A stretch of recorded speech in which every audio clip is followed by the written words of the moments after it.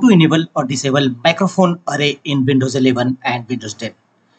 Microphone Array is an inbuilt feature of Windows PCs that allows user to connect multiple microphones to a single audio device and use them simultaneously.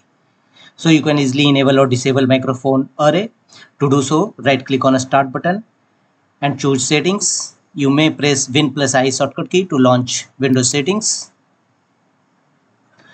here from the left side go to system settings.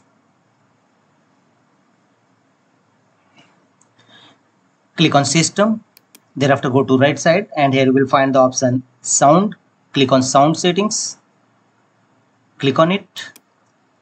And here scroll down and you will find the option microphone array.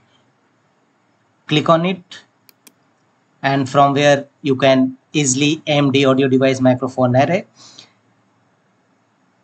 it allow apps and windows to use this device for audio if you want to choose if you want to enable then choose allow. If you want to disable it choose don't allow.